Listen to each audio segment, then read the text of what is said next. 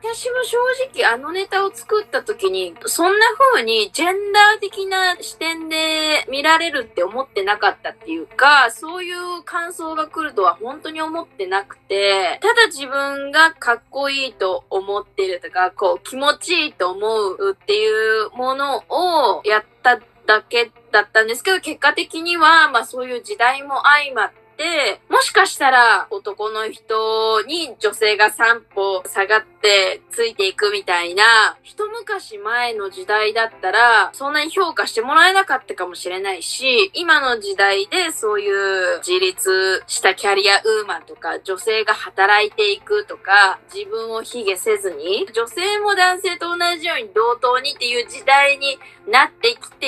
からこそ、ああいう WithB とかをつけて、あからさまに、あの、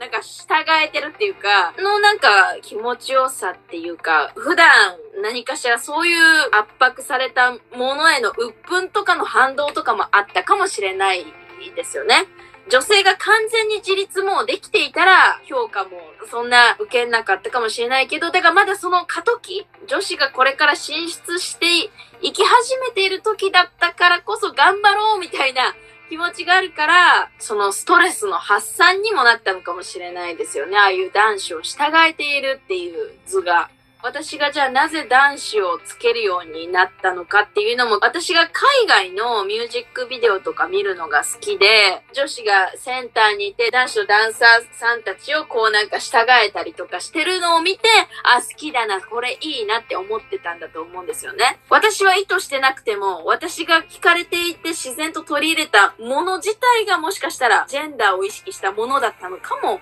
しれないなとは最近思いましたね。うん